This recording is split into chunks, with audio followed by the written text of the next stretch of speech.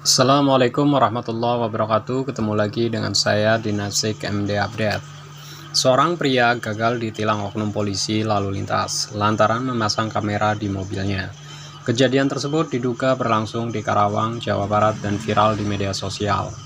Dilihat dari akun Twitter Sakura Kawai Senin 8-2-2020 Peristiwa gagal tilang itu diketahui terjadi pada hari setelah pria bernama Dinar itu baru saja mengantarkan istri dan anaknya.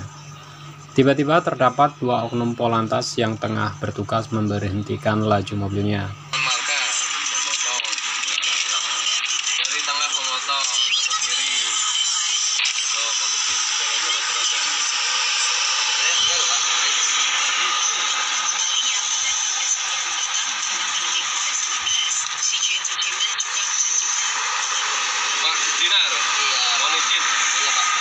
Bapak sudah melanggar SIM apa SNK Bapak yang mau ditilang?